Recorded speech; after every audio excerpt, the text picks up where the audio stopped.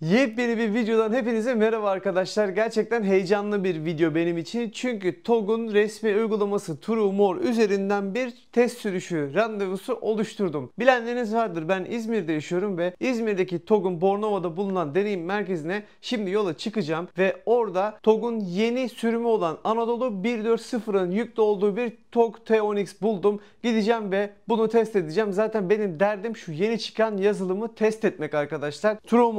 Elimde randevum hazır. Yola çıkıyoruz ve aracımıza yetişelim. Biraz trafik oluyor artık İzmir'de de. Aracımızı bir alalım. Sonrasında da size TOG T10X'in yeni değişimiyle alakalı, yeni güncellemeleriyle alakalı bilgiler vermeye çalışacağım. Biraz da onlardan rica edeceğim ki arabayı biraz daha uzun test edeyim. Sizlere şu yeni yazılımdaki yenilikleri bir anlatayım.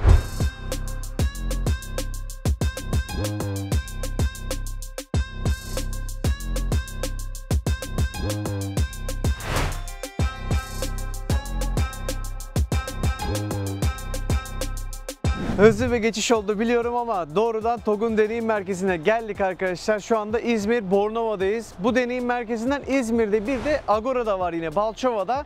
Ben Bornova'ya geldim. Biraz daha burası ferah olur, rahat olur diye düşündüm çekim için. Buradan da test randevumu oluşturmuştum zaten. Hemen girişte sizlere şu bilgiyi vermek istiyorum. Şu anda önünde bulunduğum bu deneyim merkezinden Türkiye'de şu anda 7 farklı bölgede ve 9 tane farklı deneyim merkezi olmak üzere sizlere TOG'u deneyimleyebilmeniz için sunulmuş durumda sevgili arkadaşlar. Bu arada bu konuda da birazcık altını çizelim. Hazır tam böyle mağazanın önüne gelmişken TOG servis konusunda da baya böyle yeni yeni hizmetler sunuyor arkadaşlar. Bunlara baktığımız zaman şu anda TOG'un 23 adet yetkilendirilmiş servisi, 15 adet TOG mobil servisi, 20 adet mini mobil T10X servisi mevcut durumda. Şunu söylemek istiyorum. Gerçekten TOG kurulalı çok kısa bir zaman oldu biliyorsunuz. Bir otomobili üretmeyi bırakın bir de bu servis ağını bu kadar hızlı bir şekilde kurabilmek çok değerli diye düşünüyorum. Şöyle içeri doğru bir geçelim. Bakalım arabanın rengini merak ediyorum ben. Çünkü ben bir Kapadokya oluşturmuştum. Satın almak istemiştim. O zaman nasip olmamıştı. Bakalım belki yakında nasip olur. Geçelim içeri doğru.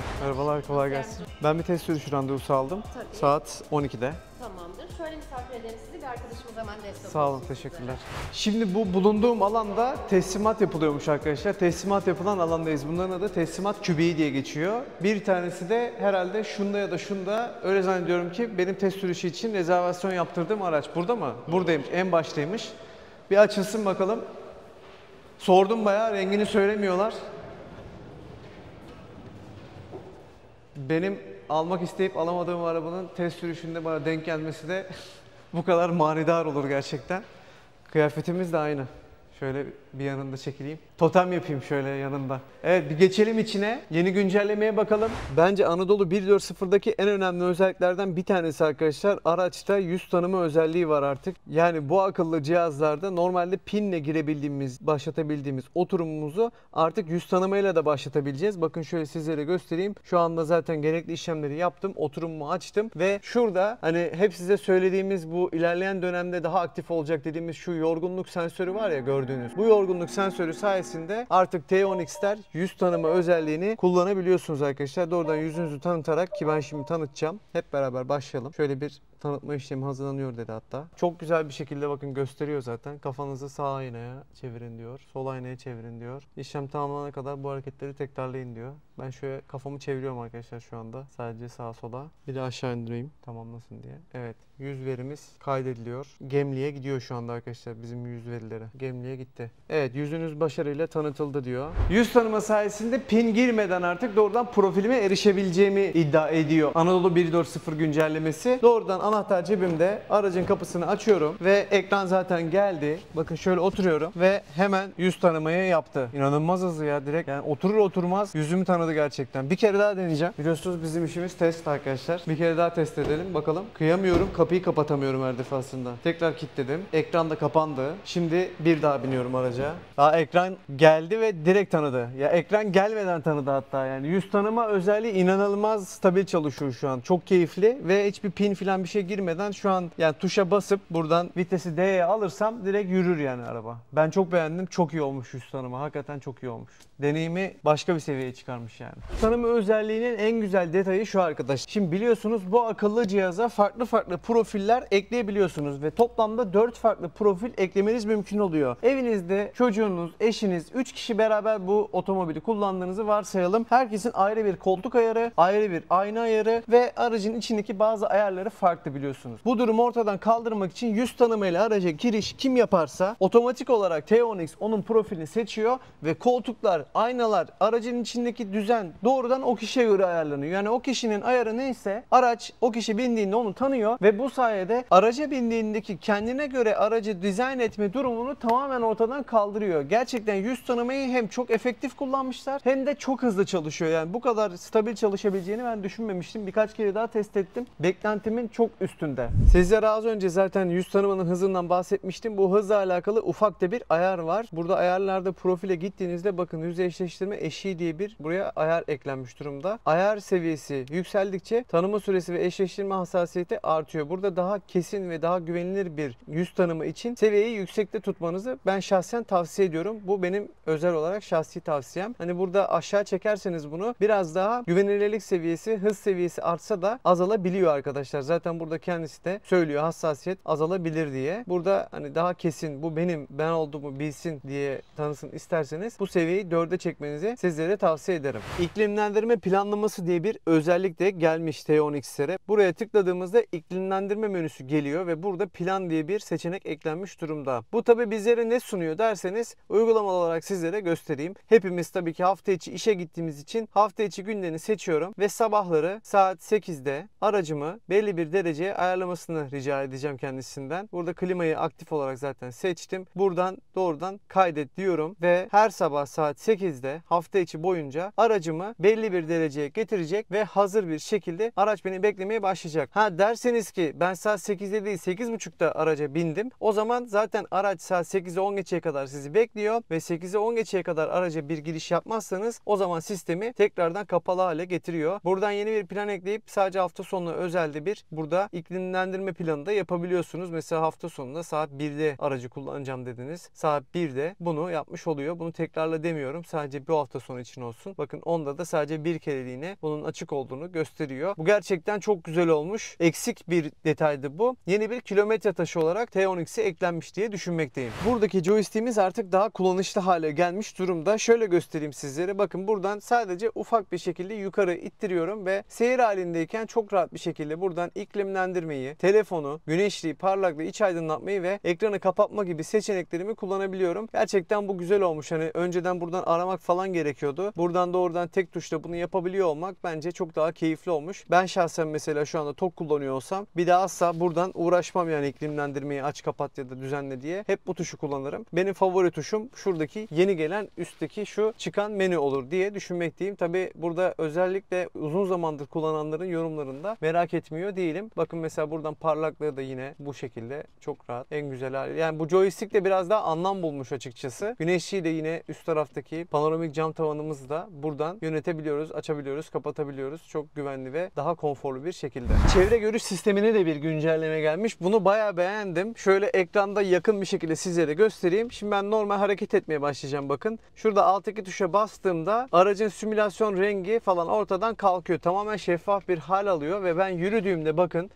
Burada yolu tamamen görüyorum. Yani arabanın her yerinde, arabanın altında dahil olmak üzere bir kamera varmış gibi bir durum oluşuyor ki yerlerde de İzmir'in malum çukurları çok meşhur biliyorsunuz. Böyle çukurları net bir şekilde görebiliyorum. Bakın şu an bir çukurdan geçiyorum ve çukuru da ekranda görüyorum. Şurada bir başka çukurumuz var. Maşallah. Bir başka çukurdan bakın geçiyorum. Aynı çukur net bir şekilde burada gözüküyor. Yani yolun altını da aracın altını da görüyorsunuz. Bu sayede tabii daha güvenli bir şekilde park edebiliyorsunuz. Yine bakın bozuk bir yerden geçiyorum. Aynı şekilde ekranda görüyorum bunu. Bu bayağı güzel olmuş. Park ederken özellikle park bilgisine ya da park yeteneğine güvenmeyen sürücüler için ya da çok daha rahat, konforuna çok daha düşkün sürücüler için müthiş bir yenilik olmuş gerçekten. Yeri de görebilmek önemli. Özellikle İzmir gibi bir bölgede yaşıyorsanız bu çok değerli. Kuş vardı, kuşu bile gördüm şurada.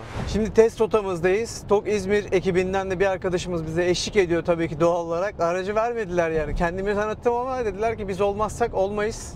Biz de dedik başımızın üstünde yeriniz var. Yola çıktık. Şöyle bir bilgi öğrendim. Buraya gelmeden önce bu güncellemenin detaylarına çalışırken arkadaşlar Teonix'in ön tarafında bulunan bu 29 inçlik boydan boya multimedya ekranı elektrikli otomobiller arasındaki en büyük ekranmış. Yani bunun bir benzeri ya da bir buna muadil olan bir otomobil şu anda yokmuş. Bu da beni gerçekten ayrı gururlandırdı. Zaten boydan boya bir ekran deneyimi çok keyifli. Bu ekran deneyiminin başka bir otomobilde sağlanamıyor olması da bence önemli ve güzel bir detay. Bu detayı da sizlerle bu videoda paylaşmak istedim. Ben bu güncellemenin çıkacağını öğrenince tabii doğrudan test sürüşü için randevumu aldım. Geldim. Bir tane de araç burada varmış. Test etme fırsatına eriştim. Ama şu anda Anadolu 1.4.0 güncellemesini rastgele seçilmiş ve yenilik elçisi olarak adlandırılan gerçek Teonix kullanıcıları Türkiye genelinde test ediyor arkadaşlar. Beta sürecinde şu anda bu yazılım. Ve bu yazılım beta sürecinden çıktıktan sonra TOG T10X'lerini teslim alanların teslim alma sırasına göre tek tek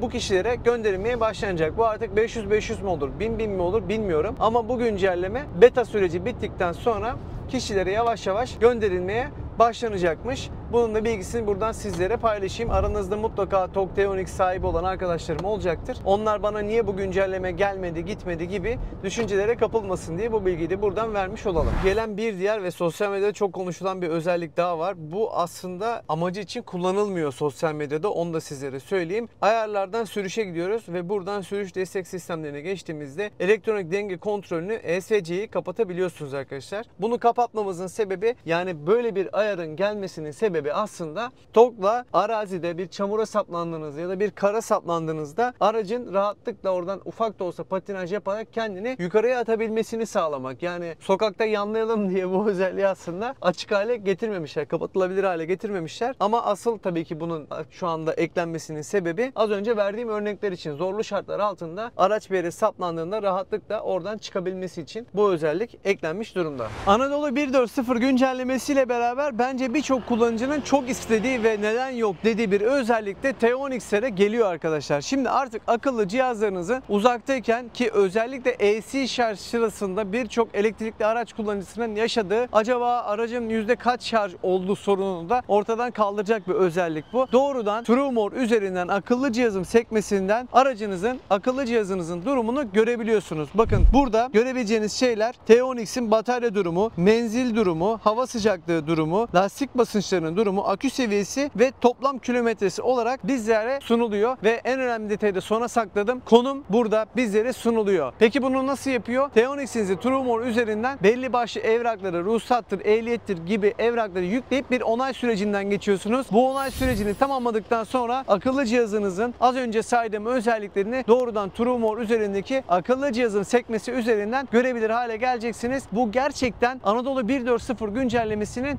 bence en önemli detaylarından bir tanesiydi. Çünkü artık bunu herkes neden yok diye sorgularken artık var. Bu özellikle gelmiş oldu. Sevgili arkadaşlar İzmir Bornova'daki TOK Deneyim Merkezi'nde almış olduğum test sürüşü randevumu tamamladım ve test sürüşümü yaptım. Benim için buradaki tabii ki durum test sürüşü değil daha çok sizlere Anadolu 1.4.0 güncellemesinin yeniliklerini anlatabilmekti. Elimden geldiğince yaklaşık burada 2 saat gibi bir süre bana verdiler sağ olsunlar. Normalde böyle bir süre yok tabii ki.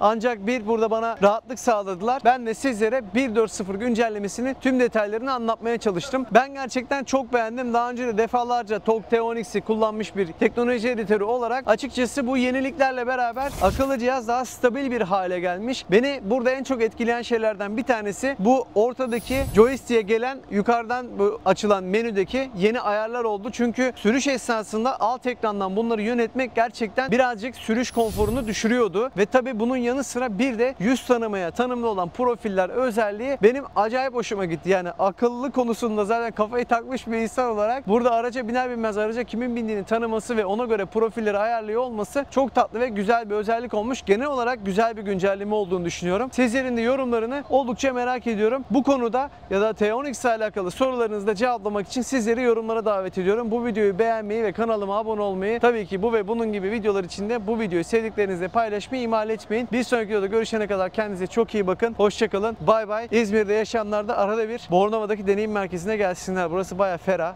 Bak hemen gelip buradan aracı test edebilirsiniz. Hatta doyamıyorsanız haftada birkaç kere de gelebilirsiniz. Bence sıkıntı çıkmaz. Size yardımcı olurlar yani. Burada imkan bayağı bol. İmkanı bulduğum için sizlere söyleyeyim dedim. Burası güzel. Müsait yani.